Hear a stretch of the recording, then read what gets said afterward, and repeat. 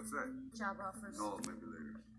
Why don't you and me have a very special dinner? I'll cook. She's right there, right when he said special dinner. Special woman. That guy and her are basically the same distance from the plane. And she's like noticeably taller than him. I wonder what her